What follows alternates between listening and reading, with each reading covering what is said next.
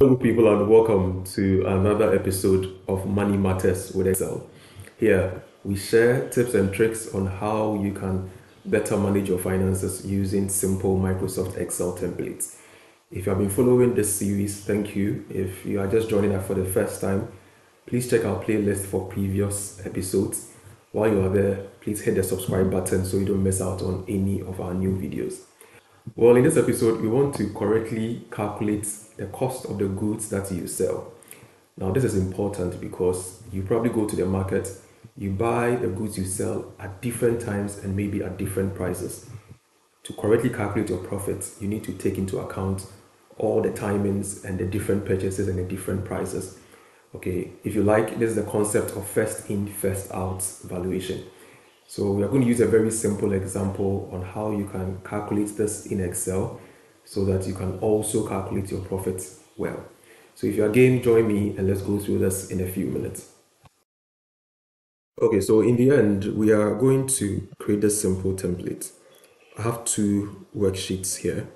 So on the sales, this is just a simple table recording how much I sold for each day and then the selling price for the item. I've calculated the revenue over here.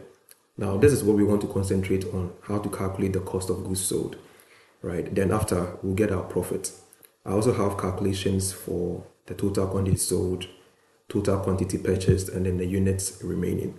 Now, to calculate this particular figure, okay, we've created this schedule which records the different times we bought our items and the prices that came along with it.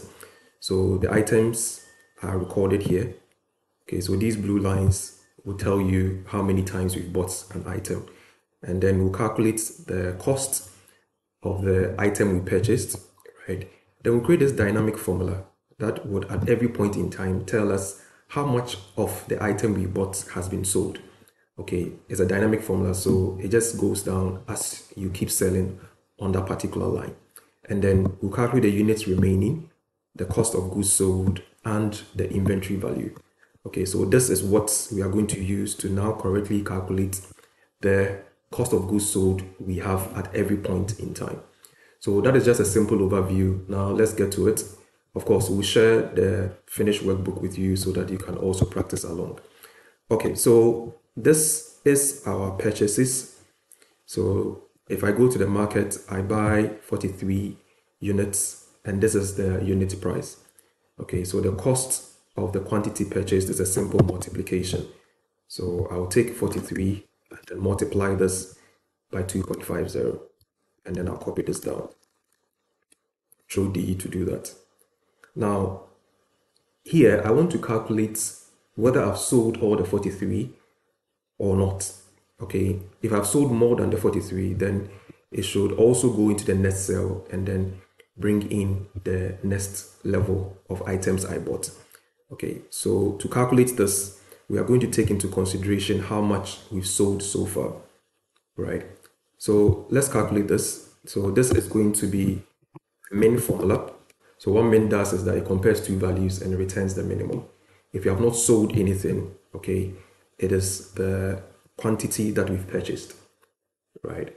Now, if you have sold something, I'm going to sum. So here, I'm going to sum the sales table. So the sales table is table one.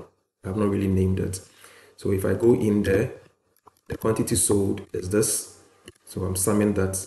I'll close my bracket, right?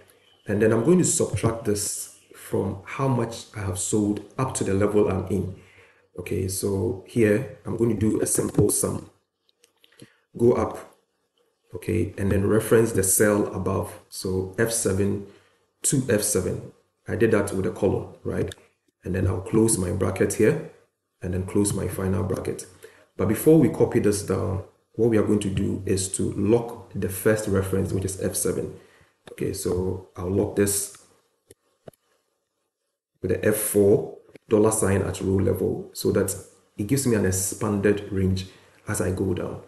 Okay, so if I do this, it means that this 43 is gone.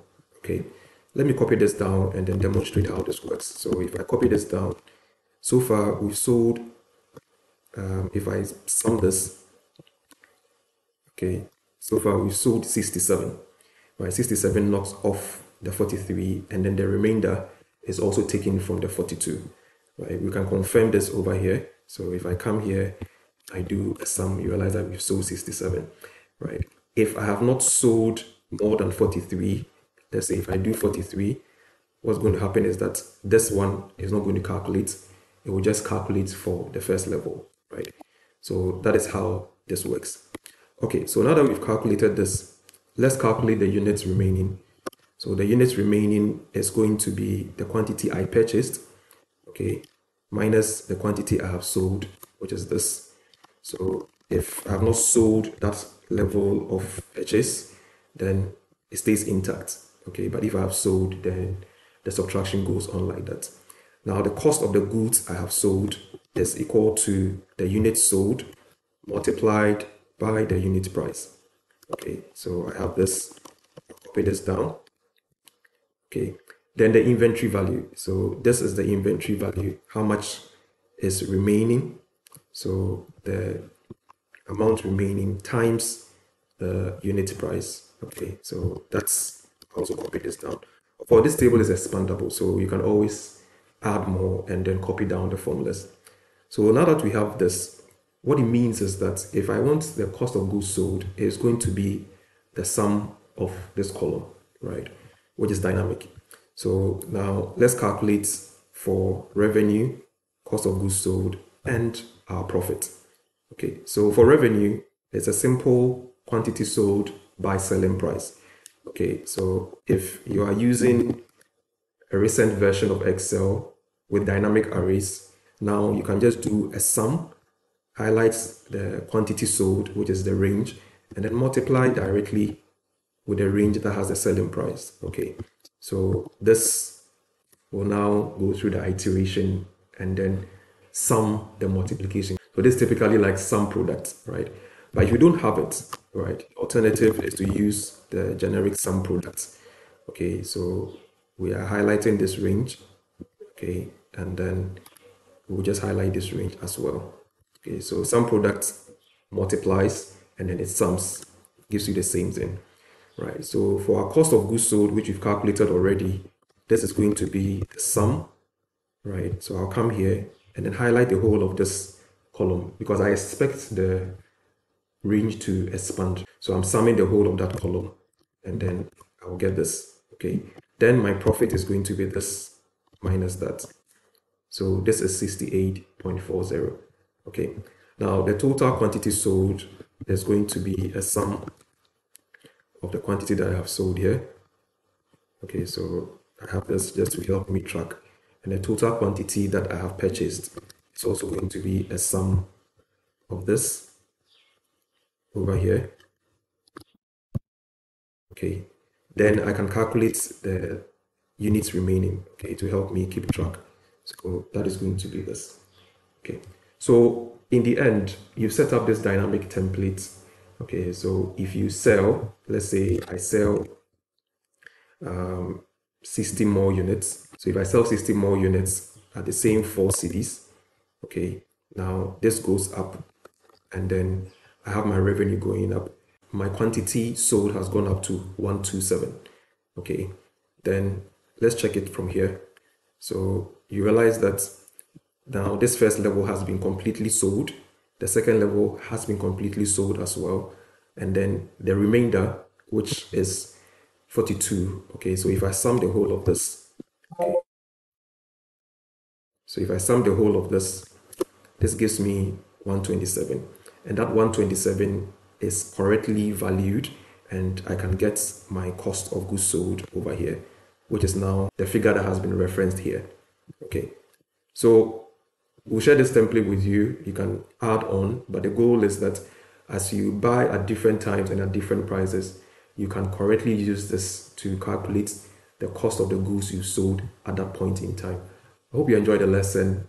Please subscribe and then join us for the next episode. Thank you so much for watching.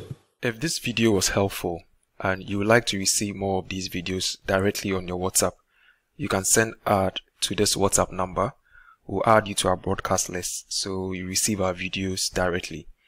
You can also visit our YouTube channel, Finex Skills Hub. All our old videos are here. Please subscribe for notification of new videos or connect with us on any of these social media handles. Thank you so much for watching.